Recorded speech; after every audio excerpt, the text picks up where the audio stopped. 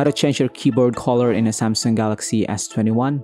You scroll down, you tap the settings icon, general management, Samsung keyboard settings.